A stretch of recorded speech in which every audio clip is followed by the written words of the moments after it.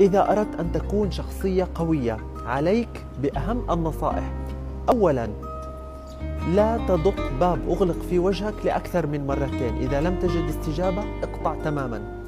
الشيء الثاني لا تقوم بالاعتذار لأي شخص كائن من كان قام بظلمك أو بقهرك. تحت بند أنا أحبه أو هذا قريبي وعلي أنا أن أقوم بالاعتذار له. الشيء الثالث والمهم أيضا جدا دائما اتبع إحساسك عند اتخاذ قراراتك ولا تسمع لأحد. والأهم تحمل مسؤولية قرارك سواء كان إيجاب أو سلب. إذا كانت نتيجة قرارك إيجابية فاسعد بها. وإذا كانت سلبية هي سوف تعلمك وتزيدك قوة فلا تتوانى. والأهم إذا طلبت أي شيء من شخص اطلبه من غير ما تعطي أي مبررات لسبب الطلب.